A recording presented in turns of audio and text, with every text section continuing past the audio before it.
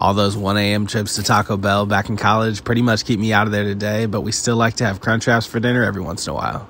These are cheap and easy to make at home, and everybody gets to pick what they have in theirs. To make them, I start by making some taco meat with the seasonings I have listed below, and then I grab some burrito sized tortillas.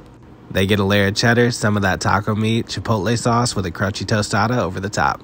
Then it's just a drizzle of sour cream, shredded lettuce, and diced tomatoes with a little tortilla to top it all off.